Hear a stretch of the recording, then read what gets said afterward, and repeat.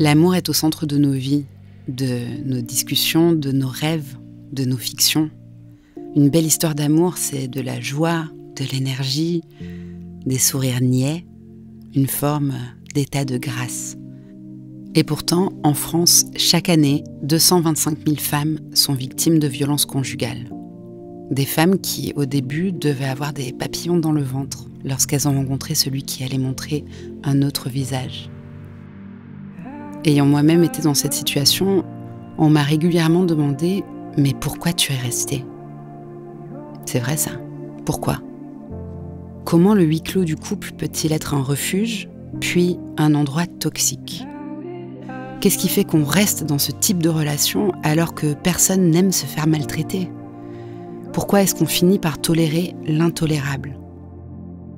L'idée n'est évidemment pas ici de culpabiliser les victimes le responsable des violences est toujours celui qui en est l'auteur. Toutefois, l'une des meilleures façons de se protéger, c'est aussi de comprendre. C'est donc ce que j'ai voulu faire. Pendant plus d'un an, j'ai échangé avec une centaine de femmes pour comprendre quelles avaient été les pensées récurrentes qui les avaient maintenues dans des histoires violentes. Dix d'entre elles ont accepté de témoigner. Leurs histoires seront éclairées par l'expertise de psychologues, avocates membre d'associations spécialisées sur ces sujets. Pour parler de violence au sein du couple, j'ai choisi d'interroger uniquement des femmes.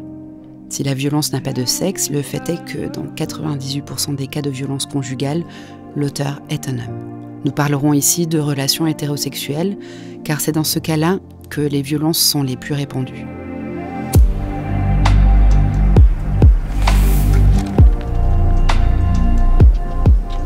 Je vois que son comportement n'est pas normal mais je l'aime. Si les violences commençaient dès le début d'une relation, la plupart des femmes partiraient. Mais ce qui fait qu'on reste, c'est souvent l'amour.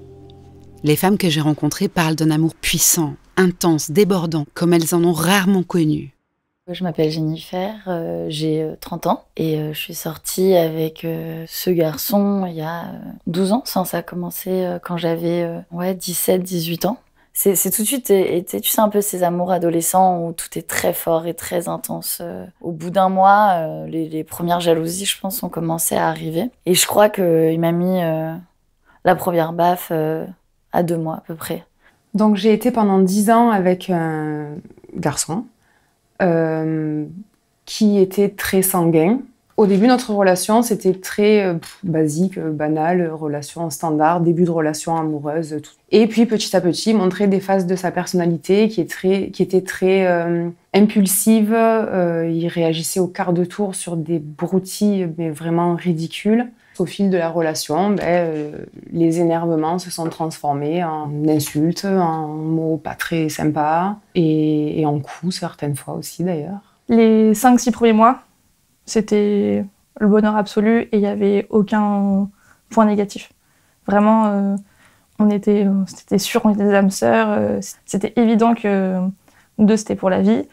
Et après, euh, on est rentré en études supérieures et là, ça a un peu changé. Je me disais, c'est vrai que c'est pas normal, mais en même temps, quand ça se passe bien, ça se passe tellement bien. Que du coup, ça, dans mon esprit, ça faisait une balance en fait. Il y a du très très mal, mais il y a du très très bien. Euh, c'était de la complicité, de, l'affection, des, des câlins, des, des sorties, enfin plein de trucs bien, mais il n'y avait rien à redire quoi. Quand il m'aime, c'est incroyable. Quand il est bien, c'est si bien que tu te raccroches à ce souvenir-là et tu te dis euh, ça va, ça va revenir, ça va revenir et là c'est une mauvaise passe et personne t'aime comme ça en fait. Personne te dit autant que t'es belle, que t'es incroyable, que qu'il va t'épouser, que ça y est, c'est l'amour, c'est ça, quoi. Dans la liste pour et contre, enfin, moi, je, faisais souvent ce genre de trucs. Pourquoi faudrait que je m'en aille? Pourquoi faudrait que je reste? La raison qui faisait que je restais, c'était euh, je l'aime, quoi. Il y avait beau y avoir euh, beaucoup plus de trucs dans la liste des contre qui auraient dû faire que je parte. Le fait que je l'aime, euh, ça effaçait tout le reste. Le fait que des fois, il y ait, y ait des sentiments, il y ait de l'amour, créer de l'ambivalence. Et, et, ça, ça peut être compliqué à surmonter pour les patientes, d'arriver à, se détacher de bon bah voilà à la fois je l'aime et à la fois il me fait du mal et à la fois j'ai envie de le quitter parce que je sens que c'est trop toxique, mais à la fois je l'aime et je sais pas quoi faire de ça. Et, cette ambivalence, bah, bien évidemment, faut qu'on l'entende aussi et elle a le droit d'exister et c'est normal qu'elle existe. Et si la patiente elle est dans la situation dans laquelle elle est, c'est parce qu'il y a de l'amour généralement et c'est parce qu'il euh, y a de l'amour de l'autre et pas assez de soi-même. Il me parlait super mal notamment, euh, on se disputait tout le temps.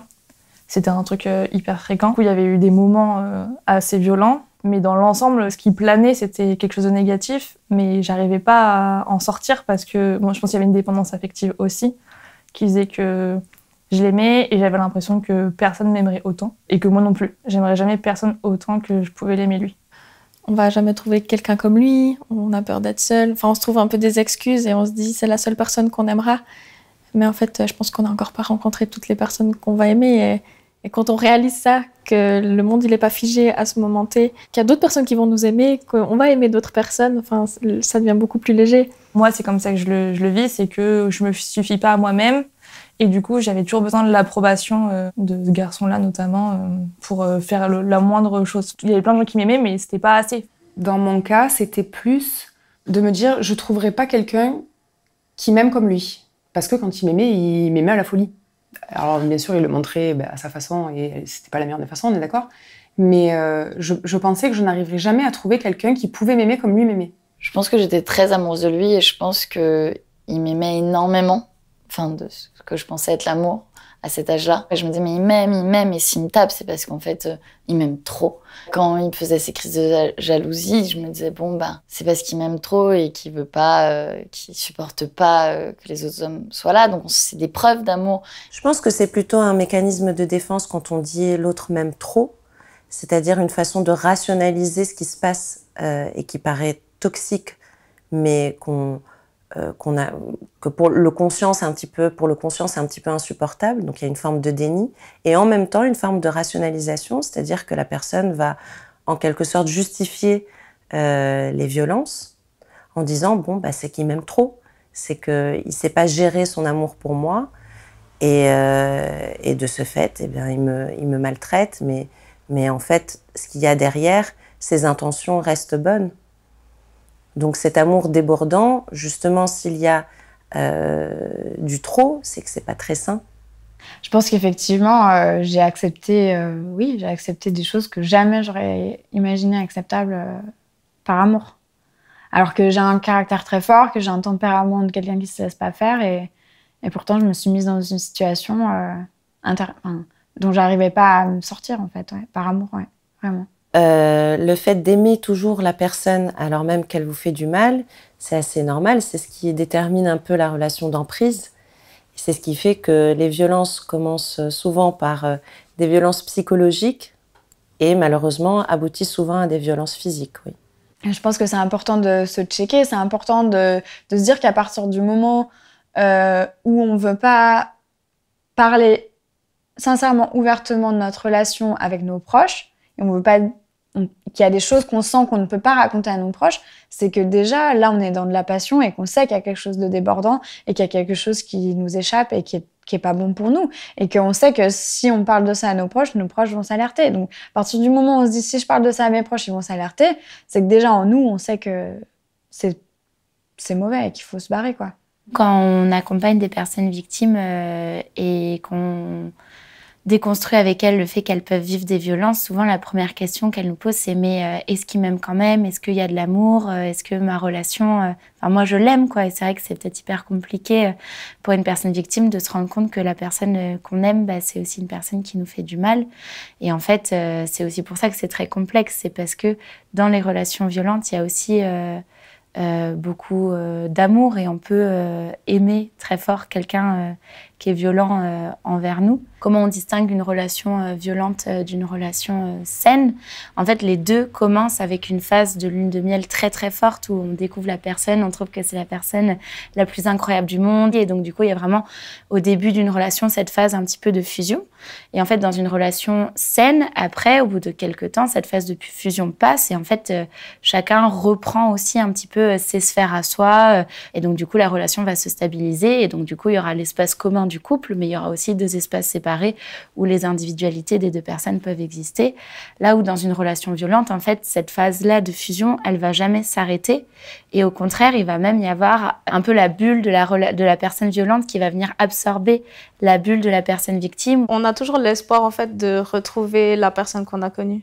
Parce qu'au début, forcément, ils se montrent sur leur meilleur jour. Ils sortaient des belles phrases. Euh, enfin, on allait manger au resto. Ça se passait bien. Puis on se disputait pas. Puis j'étais gentille. J'avais le droit d'avoir mes amis aussi, de faire mes trucs. Il n'y avait pas de jalousie. Enfin, tout allait bien, quoi. J'avais une petite voix qui me disait quand même euh, c'est pas normal euh, ce qui se passe. Mais voilà, on l'a mis en sourdine, cette petite voix. Quand il me disait des choses violentes, je me disais c'est pas grave, ça rentre, ça va aller, j'encaisse, j'avance jusqu'au prochain point, jusqu'au prochain point, jusqu'au prochain point. Et la petite voix, je me disais, bah, en fait, tant que je peux l'encaisser, euh, cette petite voix, je l'écoute pas. Bah, D'abord, c'était la violence verbale et psychologique. Et après, il y avait des coups aussi. Ça, ça dépendait les fois, les fréquences aussi, ça changeait par période. Il y a eu des violences sexuelles aussi. Des violences euh, sexuelles euh, clair où on se dit vraiment que c'est pas normal, mais après le reste, c'est on se dit que c'est normal parce qu'on est parce qu'on est en couple, qu'on lui doit ça en quelque sorte. Puis sur le moment, on se dit pas que c'est du viol ou que c'est pas normal. Je pense que j'osais rien lui dire. J'osais pas poser de limites. Bah, vu que ça allait crescendo, au début, je me disais pas que c'était pas normal. Mais après, bah, c'était trop tard. je l'avais déjà laissé dépasser des limites. Donc, bah, elle a continué à, aller plus loin, sans que j'ose plus rien dire après. Et je voyais pas que euh, me violentait, que je me suis dit non, mais bon, c'est peut-être moi qui qui fabule un peu ou euh, bon, ok, d'accord, bon, t'as mal aux fesses, mais bon, c'est pas grave, si c'est peut-être juste un peu forcé. Après tout, euh, enfin, je veux lui faire plaisir. Ça a été vraiment l'amour de ma vie. Hein. Je l'ai rencontré. J'habitais Nantes, j'étais en fac de droit, j'avais 21 ans. Lui, il était ici, il était euh, à l'armée, donc il pouvait pas quitter Paris. Donc moi, j'ai tout quitté. J'ai laissé euh, mon studio, j'ai laissé la fac. Euh, je suis venue ici, on s'est mis ensemble tout de suite. Ça, ça a été un coup de foudre. J'étais en confiance. Pour moi, il n'y avait pas de souci. On s'entendait super bien. On aimait tous les deux le sport, la musique. Donc en plus, on avait plein de points communs. Je pouvais sortir, aller en boîte avec mes copines. Je rentrais, lui, il jouait sur la plaie. Enfin, mais vraiment, tout était pour moi parfait, quoi. Il n'y avait rien qui, qui, qui clochait, quoi. C'est vrai qu'il y a beaucoup cette excuse de l'amour. En fait, l'amour est beaucoup utilisé pour justifier les violences, principalement de la part des agresseurs. Et donc, du coup, nous, avec l'association, ce qu'on fait beaucoup, c'est qu'on fait tout un travail de réflexion et de déconstruction aussi sur quelle est notre vision de l'amour euh, en tant que société et à quel point est-ce qu'on a un petit peu euh, banalisé, normalisé, voire euh, valorisé en fait une culture un peu des violences conjugales au final plein de choses qui sont des violences sont en fait vues comme de l'amour, du romantisme, etc. Je pense notamment à la jalousie. Nous c'est quelque chose qu'on travaille beaucoup par exemple en sensibilisation auprès des jeunes qu'on a vraiment intégré le fait que la jalousie c'était une preuve d'amour alors qu'en fait c'est c'est une forme de violence parce que on peut, euh, euh, on nous contrôle, on surveille ce qu'on fait, on surveille avec qui on est, etc. Donc du coup, euh, c'est hyper important aussi qu'on arrive à déconstruire un petit peu tout, toutes ces normes qu'on a dans notre société autour de l'amour pour arriver à mieux identifier ce que sont, ce que sont les violences et pouvoir être capable de se sentir légitime de réagir. Puis oui, euh, on est dans une société qui, qui nous dit il faut avoir une famille, euh, l'amour avec un grand A. On est gavé d'amour romantique euh, dans tous les films, donc on a nos petits rêves d'enfants. Enfin moi je sais que c'est quelque chose auquel je me suis beaucoup accrochée. Quoi. Je suis restée aussi dans cette relation parce qu'en fait au fond de moi j'avais envie, bah, envie de cette famille, j'avais envie d'un enfant. C'est induit par de la culture et c'est induit par par des représentations en fait qu'on instaure très petit dans, dans, tous les médias qu'on a, euh, qu'il faudrait être à deux pour être complet, il faudrait euh, être en couple pour être bien. Les patientes, elles sont vachement envahies par cette idée que être seule, ce serait terrible. Tout ça, il va y avoir un, jugement social euh, qui va aussi impacter l'identité de la personne et la représentation qu'elle se fait d'elle-même, euh, enfin, c'est-à-dire la confiance en elle qu'elle a et la façon dont elle se représente elle-même. Et en fait, si on martèle comme ça, que on martèle des Cendrillon et des Blanche-Neige depuis l'enfance, qui disent que pour qu'une femme soit complète, il faut qu'elle ait un homme et qu'elle ait beaucoup d'enfants et qu'elle soit heureuse, quoi, et eh ben on va créer aussi cette idée que la femme est incomplète et qu'elle n'est pas aimée et qu'elle n'est pas aimable si elle n'est pas en couple. On insiste beaucoup sur le fait qu'il faut qu'il y ait une autre personne qui vienne confirmer cet amour pour qu'on soit aimé et qu'on s'aime. C'était, il m'a montré euh, vraiment ce que je voulais voir en fait. Je me disais, ouais, c'est la première fois qu'un homme en fait, il prend le temps de m'écouter, il se souvenait de ce que je lui disais. et au fur et à mesure, ben, c'est vrai que ces petites attentions, elles ont, elles ont reculé. J'ai commencé à voir, mais c'est vraiment progressif. Mais c'est vrai que dès le début, c'était, euh, il s'est présenté comme la personne parfaite, quoi une personne qui n'est absolument pas dingue. à ce moment-là, elle pense qu'elle est aimée, en fait, euh, parce qu'on lui renvoie des choses positives d'elle. Et ça, par rapport à la culture, euh, bah, les femmes sont tellement détruites par la culture, leur image d'elle-même est tellement euh, tabassée, que ce soit sur le fait qu'il faut qu'elles soient minces, mais pas trop minces, faut qu'elles aient des hanches, mais pas trop de hanches, faut qu'elles aient des seins, mais pas trop de seins. déjà, leur image, elle est impossible à avoir, il faudrait qu'elles ressemblent à des poupées Barbie qui n'existent pas. Donc, elles ont déjà un narcissisme qui est déjà bien attaqué par la culture. Mais alors, en plus, du coup, quand il y a euh, quelqu'un qui vient juste leur dire une fois euh, tu es magnifique, et eh ben, ça peut être hyper narcissisant pour une personne qui se représente comme ça euh, continuellement, comme manquante, pas, assez, pas assez jolie, pas assez intelligente, pas assez je ne sais quoi. Et donc, du coup, c'est très facile après d'être narcissisé grandement juste par juste une petite phrase, en fait c'est le seul moment où on a senti que voilà, on était perçu dans le regard de l'autre comme quelque chose, quelqu'un de, de, beau, d'entier, d'intelligent, de voilà, de, enfin, de narcissiquement euh, valorisé. Il y a un moment donné où ça s'inverse, où euh, c'est plus t'es magnifique, mais ça te va pas très bien ce truc. C'est là où en fait effectivement le hameçonnage il est sur bah, tu as besoin de moi pour te sentir bien, complète, te sentir valorisée. Et si je suis pas là, et si moi je t'enlève ça, eh ben t'es plus personne. Oui, je pense que la culture a beaucoup influencé ça, bien sûr. Il suffit de voir déjà euh, euh, les contes qui sont racontés euh, aux enfants. Donc depuis la tendre enfance, on baigne un peu dans l'image d'une femme assez soumise, docile, passive. Il y a toujours cette histoire du baiser ou du prince charmant, où par exemple la princesse est endormie. Donc l'histoire du consentement n'existe même plus, n'existait déjà pas. Mais je pense qu'aujourd'hui, justement, la pop culture est en train d'évoluer. Et euh, il y a beaucoup de choses qui sont dénoncées aussi bien euh, au niveau musical, euh, chorégraphique, artistique de façon générale. Et, ça permet aux plus jeunes, en tout cas, de prendre conscience que bah, la femme peut être l'égale de l'homme. Je pense qu'il y a une énorme responsabilité de la part de la pop culture quant à la romantisation de la souffrance dans les relations amoureuses, euh, notamment dans un couple ben, d'artistes. Hein, je suis désolée, il faut le nommer. Euh, on est habitué à voir des couples d'artistes se déchirer et enfin un truc super fort. Et, et, je crois que je me suis vraiment super fortement, personnellement, identifiée à ce modèle-là et à se dire en fait, on est des sortes d'êtres tellement torturés à l'intérieur de par cette sorte de bouillonnement euh, perpétuel, que c'est normal, entre guillemets, que notre relation, elle soit euh, dans le déchirement, en fait, et que, que notre vie soit, soit dans le déchirement perpétuel. Et ça, je l'avais complètement intégré. Et je croyais que c'était vraiment quelque chose de, de naturel. Et, et aussi, euh, il y avait une part d'ego qui faisait que je me sentais un peu spéciale. Si je suis si torturée, c'est que je dois être si spéciale. Aujourd'hui, je me rends compte que c'est malheureusement super universel, que ça n'a rien de spécial et rien de romantique, euh, vraiment. J'ai toutes les classes sociales depuis, euh, voilà, une femme qui n'a, qui a été euh, immédiatement femme au foyer, qui n'a pas travaillé, des, des femmes chefs d'entreprise, des femmes juristes, dirigeantes. Mais je crois que la dynamique de la violence conjugale est toujours la même. Au-delà de, de ce qu'elles sont socialement, elles me disent toutes les mêmes choses, elles ont toutes les mêmes mots, elles ont toutes les mêmes peurs. Les histoires se ressemblent, oui. Le, fonctionnement du couple est le même, euh, euh, le dysfonctionnement du couple est le même, euh, les plaintes des femmes sont les mêmes, les, fonctionnements des hommes sont les mêmes, les peurs sont les mêmes, oui. L'amour, c'est du respect. c'est pas que de la passion et du.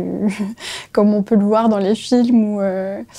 L'amour, c'est du respect de l'autre, c'est de la compréhension, c'est de l'empathie. Et s'il n'y a pas d'empathie en face, s'il n'y a pas de, capacité de l'autre à se mettre à sa place à elle, et euh, ben là, il y a un problème. Alors, l'amour, je pense que c'est quelque chose. Euh, je ne saurais pas l'expliquer exactement, mais je pense que déjà, il y a une notion de liberté, de respect, de dignité, qui sont les piliers d'une relation euh, saine et amoureuse, quelle qu'elle soit, cette, cette relation d'amour. Euh, qu'elle soit qu'on soit dans du polyamour ou qu'on soit dans une relation homosexuelle ou autre euh, ou hétérosexuelle, peu importe. L'idée c'est justement d'être dans quelque chose de bien traitant et non pas quelque chose de malveillant, euh, de, de, méprisant, de dénigrant. voilà. Et quand il y a du dénigrement, il n'y a pas d'amour. L'amour ne suffit pas.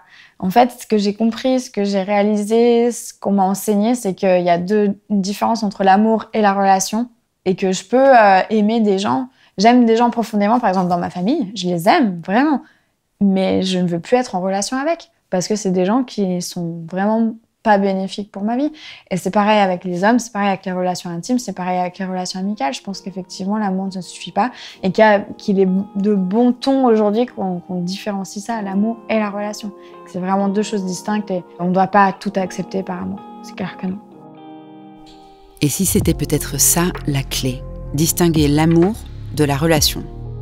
Apprendre à déconstruire cette idée que l'amour doit tout surmonter, tout accepter notre culture nous a nourris de tragédies, nous montrant des amoureux transis se déchirer jusqu'à la mort.